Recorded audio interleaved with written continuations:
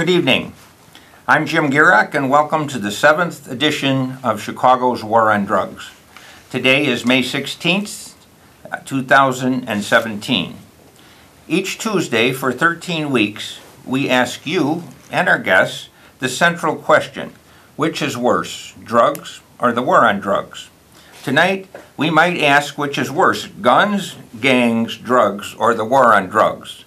Uh, I, I, think we could maybe drop a rock on all, all, all of them because they're all not so good.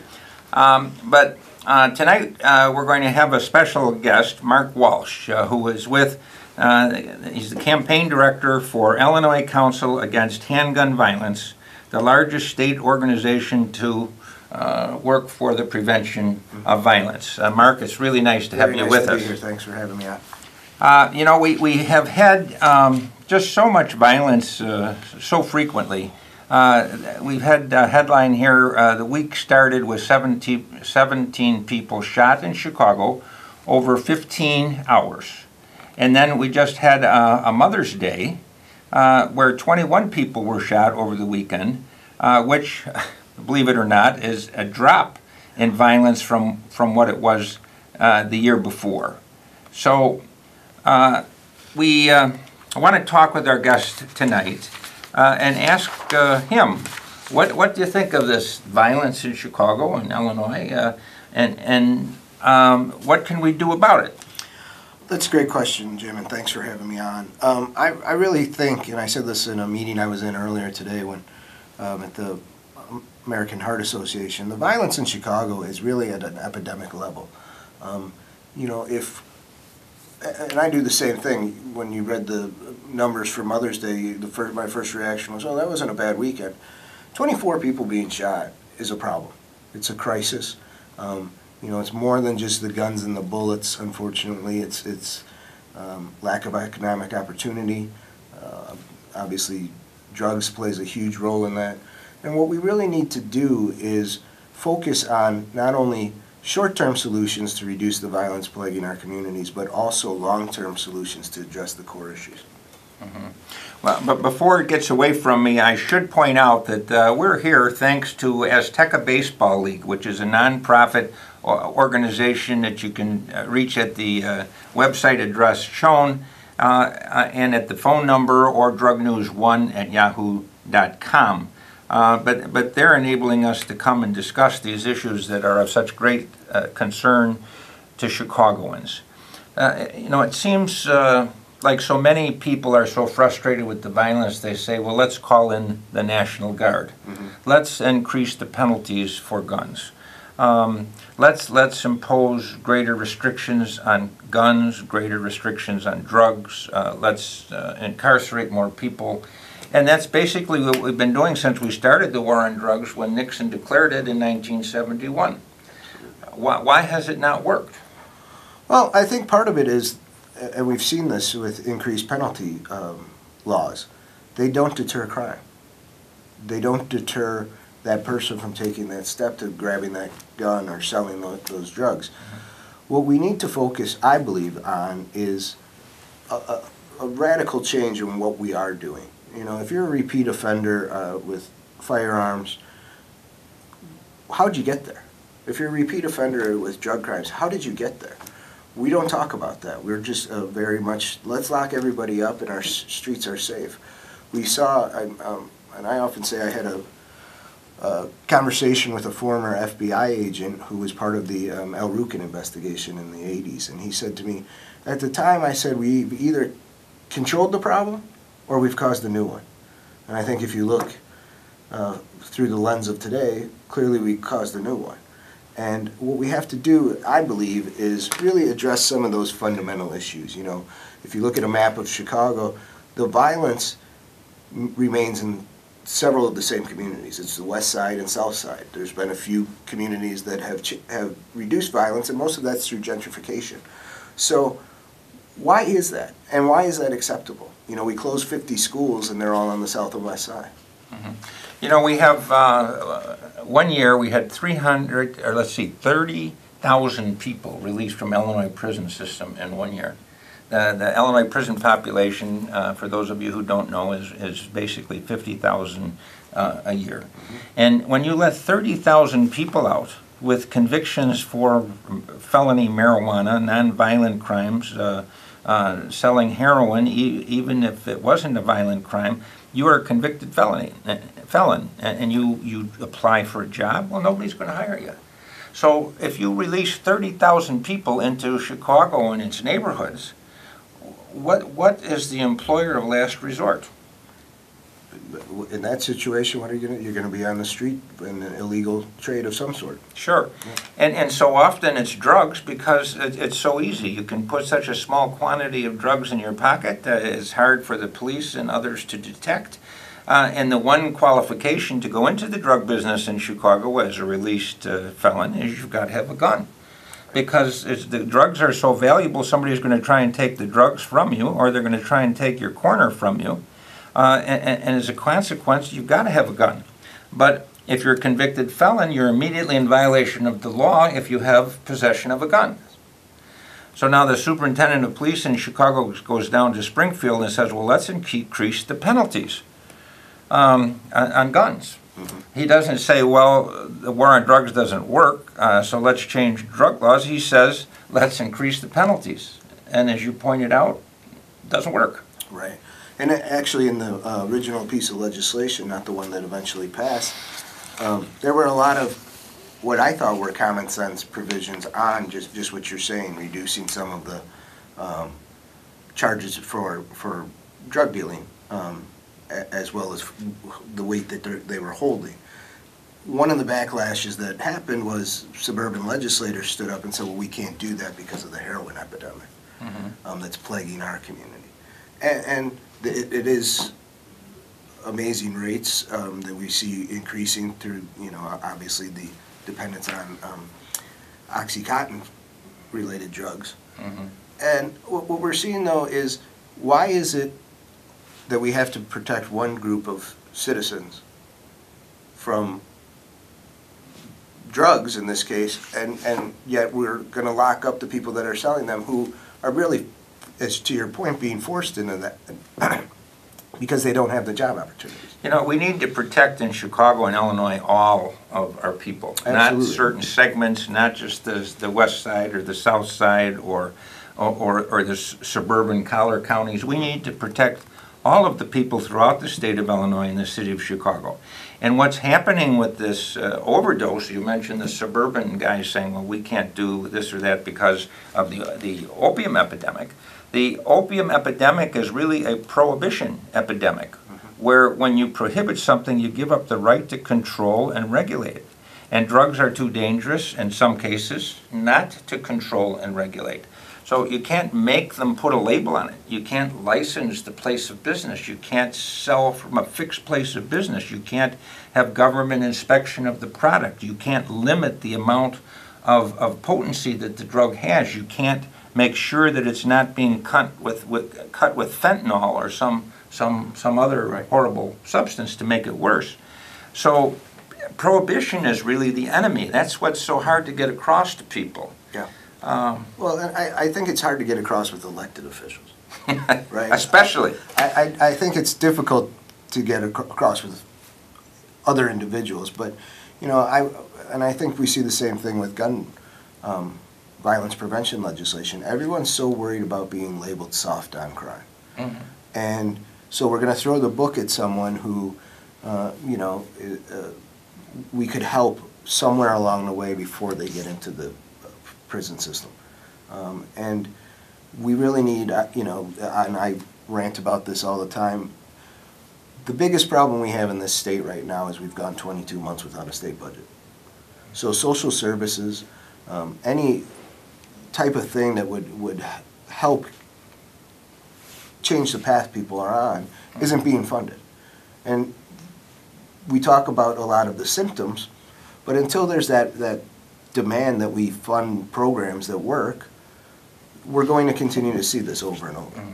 You know, it's interesting. This is the first time I've done a, a show like this, and, and I've invited the governor, I've invited uh, candidates who are going to be running for governor, and, and asked them what, what is the relationship between Chicago violence and the war on drugs? Does the war on drugs make it worse instead of better?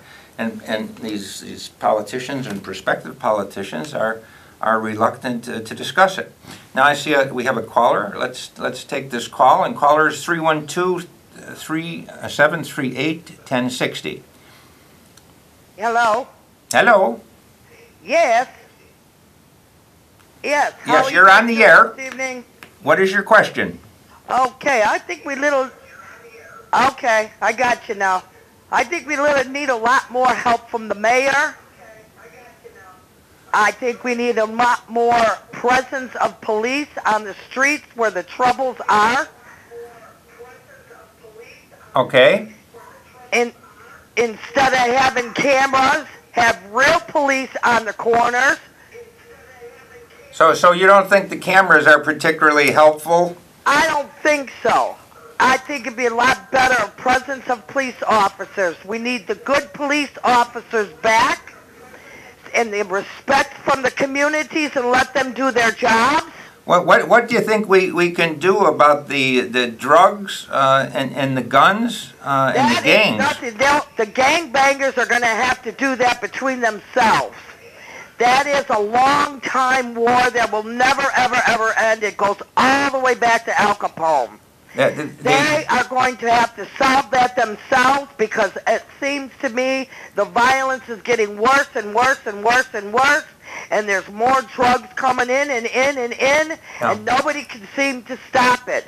That's going to have to come within themselves. All right. When they start seeing their family members dropping like flies because of drugs, they're going to have to control that. But All right, caller, th- thank, thank you, uh, uh, for your question. Uh, what comment do you have? You know, I, I think uh, she brought up a, a, number of excellent points, but uh, the one thing that caught me to what you were saying earlier is she took it right back to the Prohibition um, and Al Capone.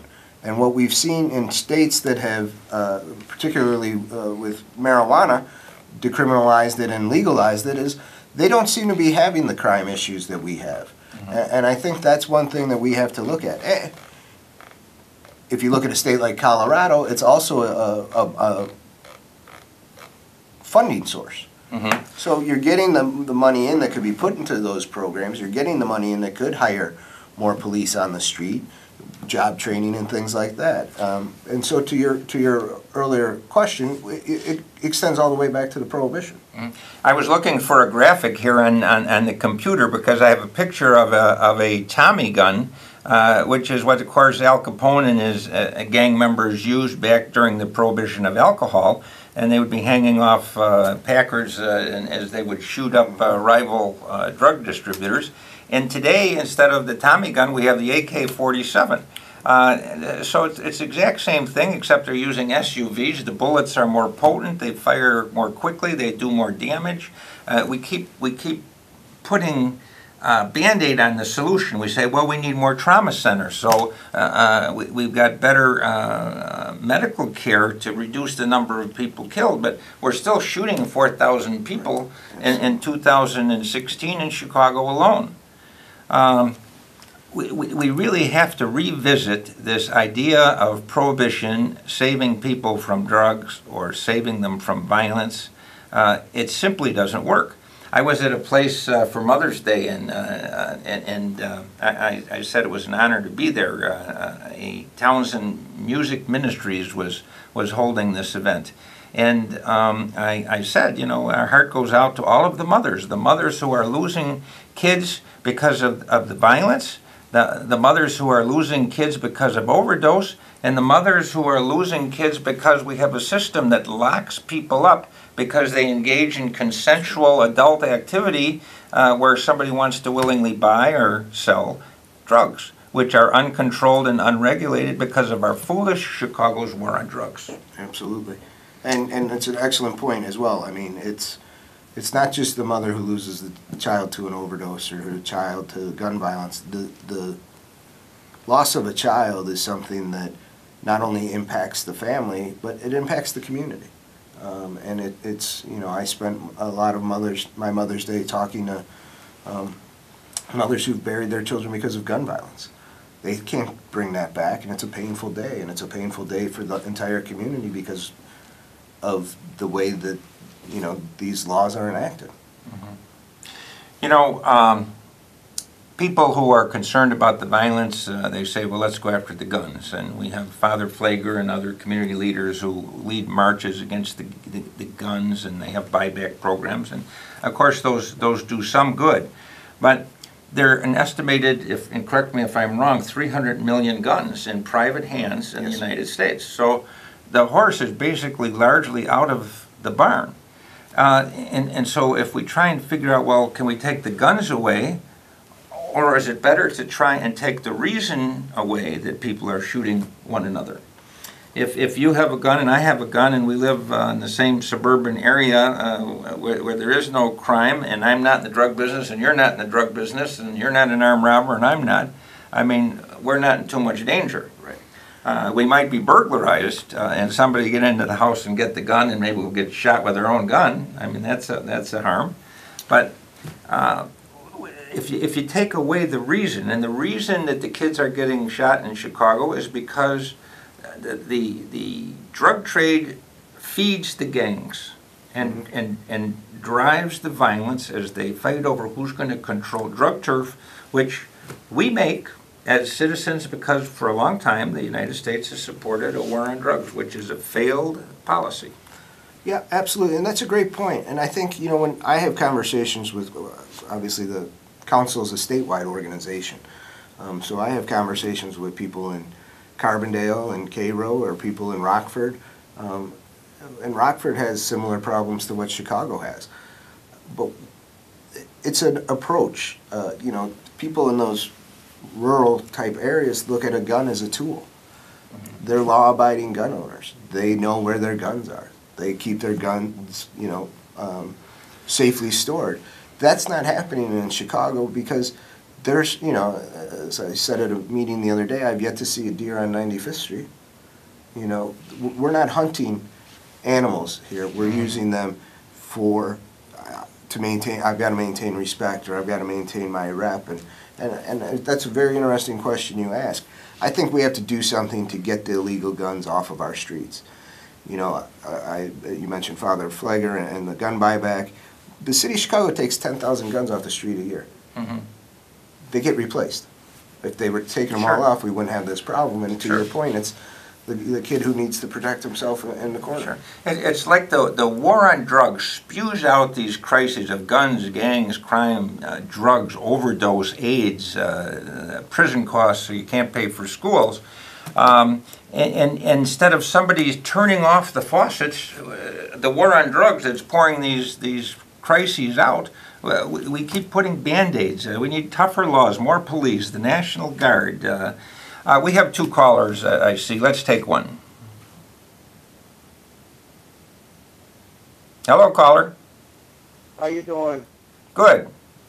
Uh, what we got to do is what we got to do is bring back bring Uh, back the draft. We have to bring back the draft and draft these kids back into the military. This way, you get them off the street. Who is it we're trying to get off the street? And that's the only way they're going to get educated through the military. Prison doesn't work anymore. What, prison? Prison doesn't work? Okay, let's, let's see what our guest has to say. You know, I, I, I agree that the way that our correctional system is set up, it, it's not to rehabilitate, it's to incarcerate. Um, I'm not sure about a draft. Uh, I think there's other things we can do. You know, I look at some communities that are heavily impacted by all the things we're talking about, and maybe a, uh WPA type program that would create jobs would be something to look at. You know, obviously that in this administration is probably not going to happen, but people would learn a trade, they would learn a skill, and they would help um, fix up communities that need to be uh, that need maintenance. The one trillion dollars we have spent on the lost war on drugs would be better spent on job opportunities and CC camps and the type of things that they did back during the thirties when there was a huge unemployment problem in the United States, and why not do it again instead of increasing penalties and building more prisons like our Attorney General Sessions is talking about doing now? We have another caller? Yes, good evening. I can tell you exactly how you can solve this problem. You look at the success they had down in Maricopa County in Arizona under Sheriff Joe Arpaio. Now, this was the first time the man's like 80 years old and he lost his election with like only 46% of the vote. But for the past 20, 25 years or so, they took people in on, on gun charges and on drug charges, and they made them work when they were in prison. They had outside camps for them, and and, and when you put somebody in, when you incarcerate somebody, you you make them really earn their time, you know, time. So when they get out, they've truly changed their ways.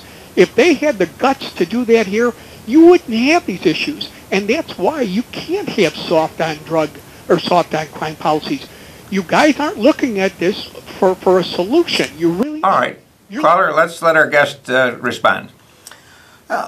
You know, I think the, the example of uh, Sheriff Joe is not necessarily the one that I would look to.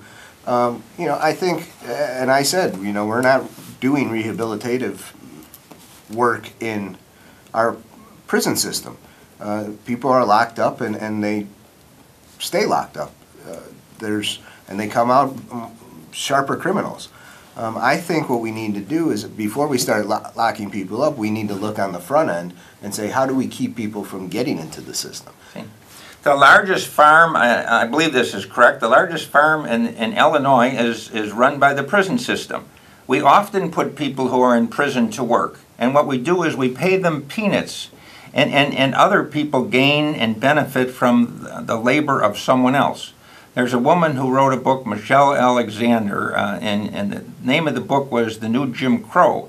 And the thesis for her book was the idea that, well, we can't discriminate against- against people because they're black or minorities or their religion and the other things that aren't permitted in the United States. But if we can convict them of a crime, we now have the right to put them in prison. We have the right to take away their right to vote. We can take away their right to Pell Grants, to federal grants, the right to an education, the right to federal benefits, the right to housing the, the, the right to basically live, we take away their, their clean records so that are unemployable, and then we return them to the community where they live, uh, which is the same circumstances of destitution and unemployment uh, that they came from, and we expect things to change. Um, Einstein said uh, something about that, and I can't recall the quote. you can't do the same thing and expect a different result. Uh, you shoot your, your, yourself in the foot uh, and it hurts, and you do it again, and it hurts again. That's quit shooting yourself in the foot. And that's what we do with Chicago's war on drugs. Absolutely. Um, well, uh, we're kind of winding down here. We have a few minutes to go, but uh, you know, the, one of the things that occurs to me about trying to control weapons, once we invent uh, the club, you can't make the club go away. Once you invent the bow and arrow, now the bow and arrow doesn't go away, and eventually you, you invent these horribly powerful guns, and you know, it's difficult to make them go away. Which gets me back to the point: if we take away the reason people are shooting one another. Yeah, I, I would agree. I would also say if you look at, and you talked about it with the photo of Al Capone and the Tommy gun, over time, the lethality of weapons is the problem. This isn't Grandpa's Colt 45. This is an AK-47 or an AR-15. You know, we saw it last week in the hands of a 17-year-old shooting a police officer. Mm-hmm. H- How do you have access to that? There's no need. Those guns were designed for one thing, and it's not hunting. It's for killing people. Um, that's why they're weapons of war. And so I, I think while we address the system, uh, we also have to figure out a way to get these weapons of, of destruction off of our streets. Yeah. Well, I I think there's a commonality with these uh, issues of guns and drugs. It's not the things that are that are bad in themselves. It's what people are doing with them. People abuse them. Uh, you can you can take a, a, a hoe and make it into a weapon. You can take a toilet seat and turn it into a, a deadly weapon. Absolutely. Uh, so we, we as a society really uh, need to start better controlling uh, people from the harms of guns and gun violence, and to do that, we need uh, drug policy reform, something other than this Al Capone prohibition system, uh, which has just caused so much damage. Um, I want to thank again uh, our guest, Thank Mark, who came in. Uh, uh, it, it's really great to talk to you, and uh, we, we folks here at Chicago's War on Drugs look forward to you being back next week um, uh, to answer the question which is worse, drugs or the war on drugs. I'm Jim Gierach, and good night.